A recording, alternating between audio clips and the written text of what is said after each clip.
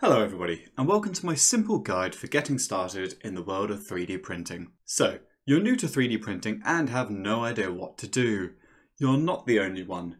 Maybe you bought the printer as an impulse purchase, or thought that it would be a lot simpler than it is. Or perhaps you got one as a present and don't know where to start. However you got there, this inclusive guide should cover all the basics to get you printing in no time. If you already know some parts, then skip ahead using the time codes in the description for what you need help with. Step 1. Buy a printer. For the sake of brevity, I'm going to assume you already have yourself a printer and that it is an FDM, not a resin printer, as I personally have no experience with these, but I would like to get one in the future and create guides for those as well. Your lovely printer is now sitting ready at the desk. You've followed the instructions that came with it to get the filament loaded in. This is different between each printer, so I'm going to hope you work this bit out yourself. And hopefully you've had a little play and a poke through the controls to heat it up and extrude a bit of filament manually. For my printer, the Anycubic i3 Mega, you do this by feeding the filament through the extruder and into the Bowden tube. Then navigate to Tools, Filament, and Filament In. This will then heat up the hot end and when it is up to temperature, start turning the gears of the extruder to push the material through the hot end and out of the nozzle. It is necessary to do this with the hot end raised above the bed, as doing this whilst the nozzle is making contact with the bed will either jam your nozzle, damage the print bed, or strip the gears. To be on the safe side and to view the extruded filament, I raise it to about 100mm above the level of the bed.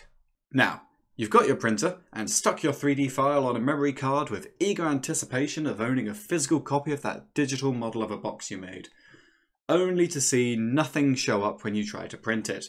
This is because you first need to convert the model into a file called a G-code, which slices the model into individual lines of instructions that tell your printer how to make it.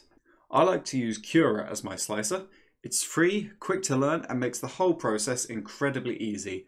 Plus, it's constantly updated with loads of new features, some of which greatly improve your printer's efficiency. What you're going to want to do is head over to ultimaker.com forward slash software and download Ultimaker Cura. Once installed, you need to set it to your printer. So go to Settings, Printer, Add Printer, add a non-networked printer, then go through the list and find your printer. Wonderful, it's all set up. Now you'll want to click the big file icon and load in your 3D model. We'll start out with a nice test for your printer to see how calibrated it is. So head over to thingiverse.com and download Benchy, the cute little benchmark boat test. On the right hand side is a drop down with loads of settings which may look daunting at first. We're just going to focus on the basics today. Under quality, set your layer height to 0.25 and the initial layer height to 0.4. At this point, you may notice that I have different options in the settings to yourself. This is because, by default, Cura hides some of the more complicated settings. These could all be enabled by clicking on the sliders next to settings.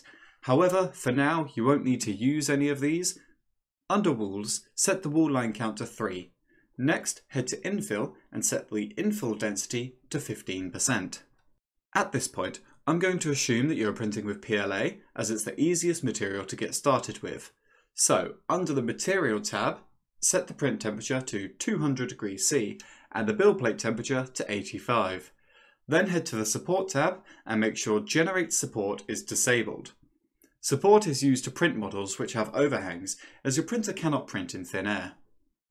Now, finally, navigate to Build Plate Adhesion and set it to Skirt with a line count of 1 and a distance of 10 millimeters.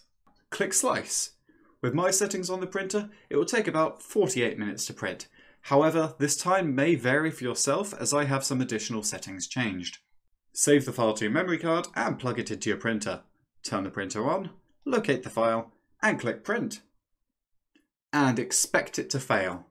If you're lucky, the filament will adhere to the bed and you'll get a lovely print right from the get-go. More realistically, however, your print bed won't be level and you'll need to take a few minutes getting it level. So let's go through a quick guide for this for those who don't have an auto leveling bed. What you're going to want to do next is preheat your nozzle and bed to 285 degrees respectively and tell your printers to home all axes. Next, take a sheet of paper and slide it between the nozzle and the bed. There should be just enough space for the paper to slide under the nozzle, but narrow enough that you can feel the nozzle loosely gripping the paper when you move it back and forth. Repeat this step at each corner of the bed, using the knobs attached to the corners to raise or lower the bed as required. Once you're happy with how it feels, try printing the file again. Hopefully, this time it works. If it again fails, you can download a bed level test file from Thingiverse and print that to get a more accurate depiction of where your bed is out of level. I've put a link to one in the description below. And that's everything you need to know to get started with 3D printing. This is of course a very basic tutorial as I could spend hours going over each of the steps that I've covered in the space of a few minutes here. So I hope you'll stick around for more in-depth guides on how to print everything from your simple box to a flexible TPU embedded in fabric for the perfect cosplay armour. I'll also be covering all of the side jobs related to the hobby, such as priming and painting your prints as well. For now, that's all from me. I've been Lauren from Tech Overhaul, and I'll see you next time.